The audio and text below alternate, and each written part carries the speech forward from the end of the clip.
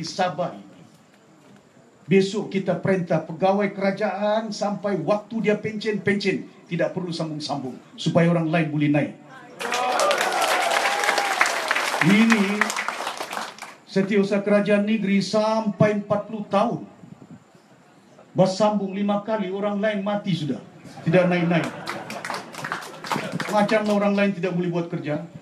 Kalau warisan perintah, insya Allah dengan petunjuk dan kudrat Allah Subhanahu Wa Taala, mudah-mudahan kita diberi kekuatan dan petunjuk untuk membolehkan mentadbir negeri Sabah ini sebaik-baiknya. Ini menjadi harapan kita. Mudah-mudahan. Jadi oleh kerana azan sudah waktu solat. Masuk zuhur. Jadi saya berharap kepada tuan-tuan jangan lupa menjelang pilihan raya sama ada dibubarkan besok lusa jangan lupa parti warisan ini. Ini lambangnya ini lambangnya kapal itu.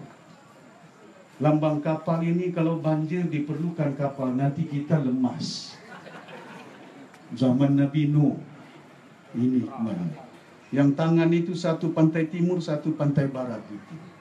Yang di situ lambangnya itu ada padi itu. Itu orang dusun, orang pantai barat tanam padi itu.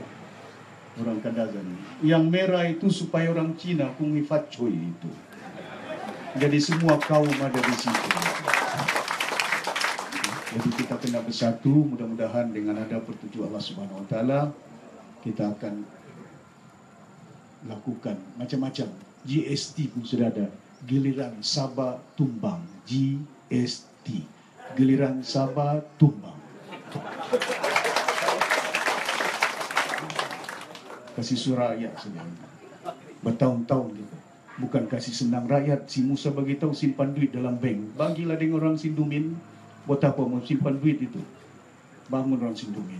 Jadi oleh kena azan menghormati. Terima kasih banyak.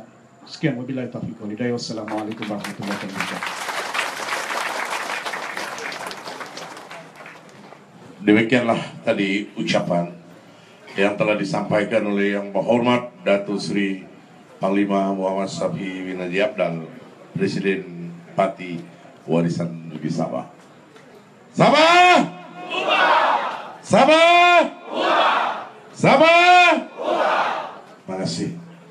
Seterusnya, kita akan majelis penyampaian uh, borang penyertaan uh, ahli baru dalam warisan. Saya dipahamkan ramai daripada uh, cawangan AMNO pada kali ini. Jadi untuk itu sekali lagi majelis dengan penuh hormat dan tazimnya menjemput yang berhormat Datuk Sapi dan juga ahli jawatan kuasa Datuk-Datuk yang ada di hadapan untuk uh, menyaksikan penyertaan ahli-ahli baru kita pada pagi ini.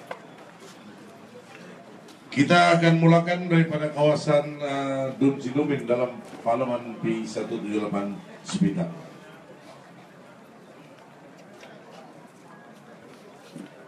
Uh, uh, kita persilahkan daripada Don Sinumin, Cawangan Amno, Kampung Bukau, KK Mion Migil. KK Mion Migil. Daripada Lumadan. Terusnya uh, daripada Banting Lumadan, Saudara Mustapin ya? daripada AMNO, daripada cawangan AMNO Banting.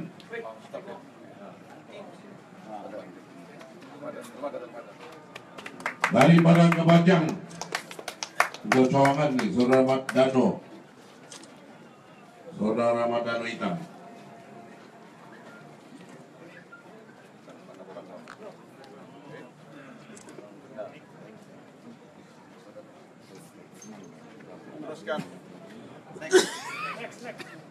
Kita teruskan daripada Lumadan, Lumadan. eh? Cawangan AMNO Lumadan, Saudara Basis. Mana dari Madano beliau, beliau buka daripada yang baru-baru nih. Ah, kembali nada ke kawasan beliau. Saudara Basis Mas kita dari Cawangan Amlo Kampung Lumadan. Ini orang kuat Dato Dayamani ini dulu. Sekarang ikut kita tuh. Ya beri tepukan kepada ahli-ahli baru kita. Saudara Indra Dala dari para Pekelala. Indra Dala.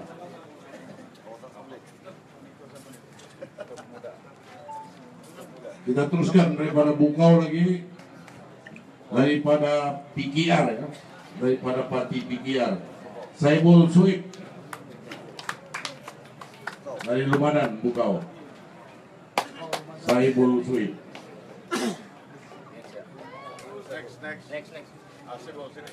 ya ada tuh. Kemudian dari parti Star Lumadan. Kawasan Dun Lumadan saudara Indri Yami.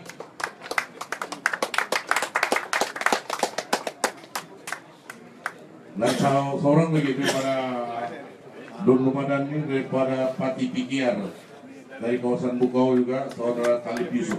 Persilakan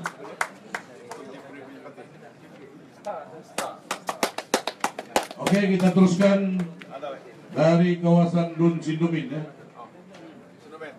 Sindumin Oke. Sindumin eh, saudara Asparisa. Kawangan daripada Kampung Pelakat Masapul Terowongan Amno Kemudian daripada saudara Muhammad Sapawi bekas ketua pemuda PBS yaitu mantan disko pemuda PBS pusat. Ada? Ada ada diikuti oleh saudara Pon Siang. Ini daripada PBS Kampung Ulu Mengalong